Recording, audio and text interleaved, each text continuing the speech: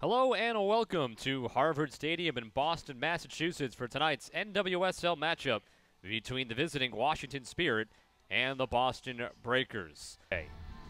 Spirit won that game in Boston 3 to 2 and we are underway tonight at Harvard Stadium.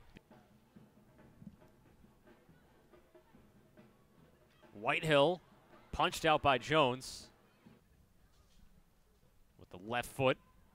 It comes down to Danesha Adams all the way through Averbuch and try to hook it in that post. Taken back by Reeves.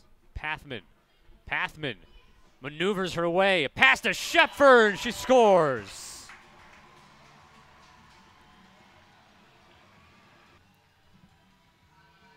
Molly Pathman doing a lot of the work. And then Schoepfer with a left foot, just a quick first time shot by Jones. So far tonight, I think the defense has been really strong on their end. I know um, one of their goals is obviously to reduce the mistakes in the back. Reeves a lot of space, got it towards Ezerike. The loose ball and another goal. This time it's Courtney Jones. As you, as you yeah, were, as you were saying, I was praising the defense on the breaker side, and they score a second goal of the game. So both ends are looking up tonight.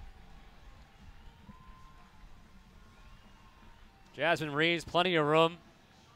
Finds Ezerike. Jones makes a great save initially, and then Courtney Jones finds the loose ball to put it home for her second goal of the season. Ezerike on her left foot trying to get it through to Reeves. And back, a long range shot goes off the crossbar. Katie Schoepfer. Now Schoepfer with a left foot to the keeper, Chantel Jones at least for the time being. Gives it back up to the Spirit. And at the post there, Naeher able to cover up. And there it is.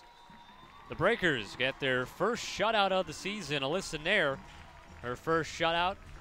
And the Breakers avenge that 3-2 loss 10 days ago here to Washington with a 2-0 victory tonight. Third win of the season for the Breakers, all coming here at home. And you can see the team very happy